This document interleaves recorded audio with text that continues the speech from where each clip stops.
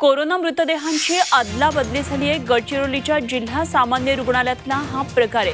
आणि रुग्णालयाच्या अशा भोंगळ कारभाराविरोधात नातेवाईक संतप्त झाले.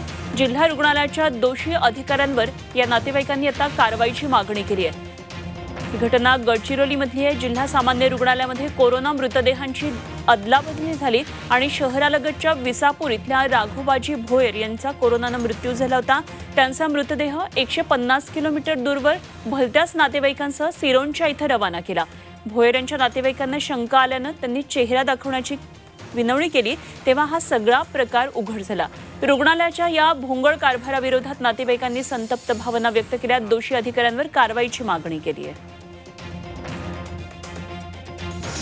या रुग्णालयाच्या प्रशासनाने आमची बाडी दुसऱ्या सिरोंच्याच्या एका मयत पेशंटसोबत आमची बॉडी चेंज केली. आमची बॉडी सिरोंच्यावाल्यांना देऊन परस्पर त्यांना हँडओव्हर केली आणि ती आठ वाजता तिथून निघून गेली. आम्हा आम्ही जेव्हा आमची बॉडी घ्यायला गेलो तेव्हा आम्हाला कळलं की आमची बॉडी सिरोंच्याला गेली आणि सिरोंच्यावाल्यांची बॉडी इथंच आहे. फक्त दोन चार बाड्या इथं आहेत तरी पण हे असा कारभार करतायत. भंडाऱ्याची उधळण म्हणजे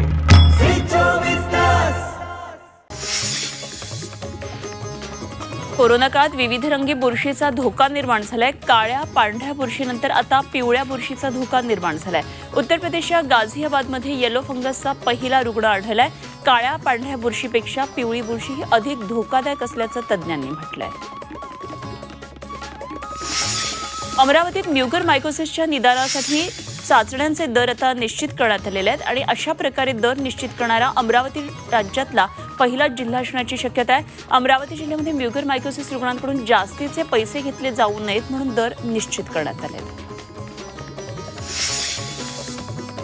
कोरोनावर बाल फार्मची नवी टॅबलेट बाजारात आली आहे आणि फेवी पेरावीरची ही बॉल फ्लू टॅबलेट पंच्याऐंशी रुपयांना मिळणार आहे. कोरोनावर मात करण्यासाठी बाल फ्लू उपयुक्त असल्याचा दावा कंपनीनं केला आहे. जालना शहरामध्ये बारा रुग्णालयांनी कोरोनाच्या उपचारासाठी दोनशे एक्क्याण्णव रुग्णांकडून शासकीय दरापेक्षा सतरा लाख रुपये जास्त आकारल्याचं समोर आलंय. आणि या प्रकरणी जिल्हाधिकाऱ्यांनी या रुग्णालयांना कारणे दाखवा नोटीस बजावल्या होत्या.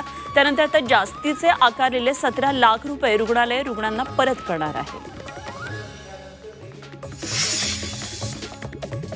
आणि आता कोरोना संदर्भातली दिलासादायक बातमी म्हणजे कोरोना रुग्णांचा आकडा आता झपाट्यानं घटत चाललाय. काल दिवसभरामध्ये राज्यात बावीस हजार एकशे बावीस नव्या रुग्णांची नोंद झाली. मुंबईमध्ये एक हजार एकोणपन्नास नवे रुग्ण आढळले आणि दिवसभरामध्ये राज्यात तीनशे एकसष्ट जणांचा मृत्यू झालाय.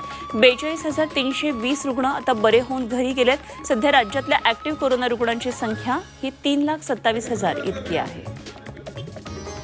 छत्रपतींचा विचार म्हणजे